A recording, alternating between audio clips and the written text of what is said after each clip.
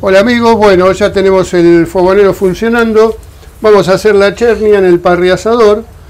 La altura o la cercanía de la parrilla a la llama la regulamos con este torniquete y esta cadenita. Bien, y la chernia la ponemos con el lado de la carnecita para el lado del fuego.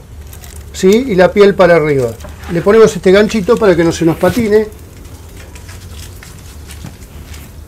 Y ahí la dejamos.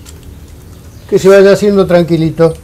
¿Aproximadamente cuánto tiempo va a estar en la parrilla? Y más o menos media hora de este lado y unos 15, 20 minutos del otro. Perfecto, muy bien.